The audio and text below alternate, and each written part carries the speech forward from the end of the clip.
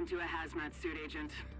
We just got word that the experimental antivirals lost in the Dark Zone have been located.